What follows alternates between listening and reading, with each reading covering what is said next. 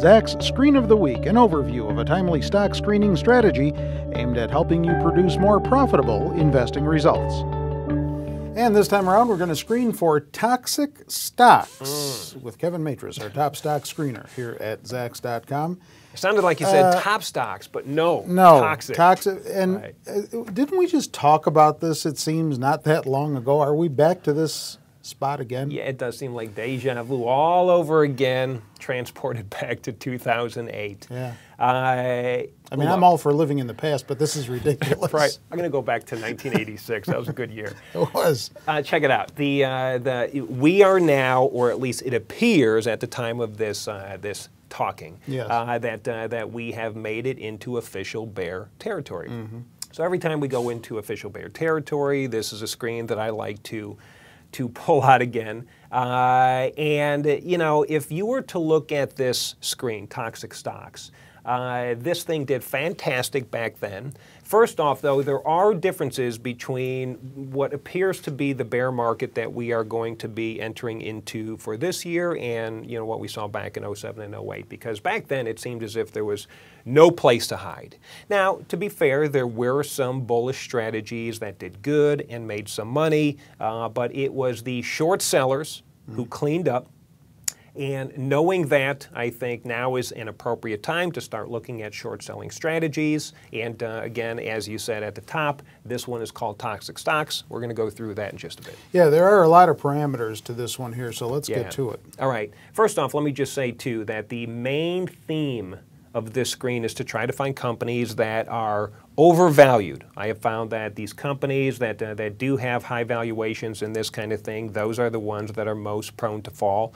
And really, it's companies with uh, overvalued valuations, underperforming growth rates mm and companies that are experiencing downward earnings estimate revisions. So let's go through the list. All yes, right? let's do that. There's a lot of these. Yeah, yeah. First one is I want to find companies with a price greater than or equals to five dollars. Generally, I do prefer to short stocks that are much higher in price, but again, cheap stocks go down in value as well but I am drawing the line at five. But that also means we're including stocks that are, you know, seven dollars, eight dollars, ten dollars, whatever, mm-hmm. as well as stocks that are fifty, seventy, a hundred dollars. So drawing it at five, but we'd like to see things higher in price. Mm-hmm. Uh, also, we're looking at companies that have an average daily share volume of, of 100,000 shares or better. The reason why this is important is you want to make sure that it is liquid enough, whereas if a uh, a bear market rally ensues, you want to make sure there's enough activity where you can get in and get out quickly and easily. If you're trading something too thin, it's, it's really going to be difficult as people scramble to it to cover their shorts, all right? Right. Anyways, let's get into the meat. Uh, the next one is we want the projected growth rate uh, to be less than the median for its expanded industry, which means we are looking for companies in the bottom half of their industry. This is putting underperformers on our radar screen, and nothing can sack a company more uh, than a company that is, you know, has a dour outlook on their growth. Okay? Let's go to the valuation components. Uh, we are looking at companies with a PE ratio using F1 estimates of greater than 50. So again, PE ratios of greater than 50 in my statistical analysis studies. I have found that companies that have PE ratios of over 50 have a significantly higher probability of underperforming the market. So we want to put all of the odds of success and all of the probabilities of success in our favor. So we're looking at companies with these excessive PE ratios. Also, I want to find companies where the debt to equity ratio is greater than two times the median for its industry. So again, we're looking at companies where there is a high degree of assets that are financed through debt. Mm -hmm. So generally speaking, a company with a high debt to equity ratio or, or a high level of debt, usually those are the ones that are the most vulnerable. And I believe those are the companies that are most vulnerable in bullish times and in bearish times, but especially right now, knowing that a lot of the crisis is being driven by concerns over the financial companies, right? Uh, going down the list, uh, we're looking at companies that have a percent change in F1 earnings estimates over the last 12 weeks to be less than zero. So again, stocks receiving downward earnings estimate revisions have a tendency of receiving you know more downward earnings estimate revisions. So this is putting the uh, the odds in our favor.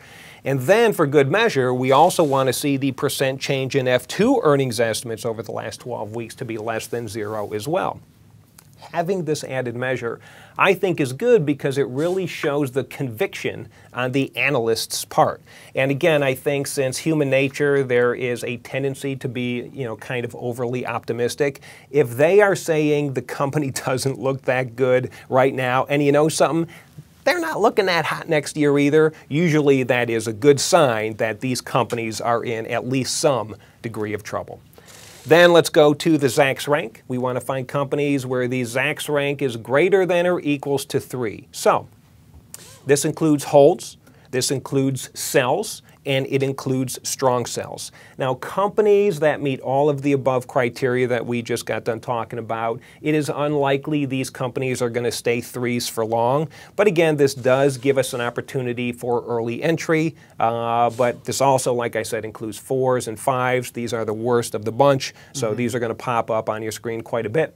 And then, for good measure, this screen looks for companies that, uh, or, or the top seven companies, i.e., the worst seven companies with the worst Zacks rank.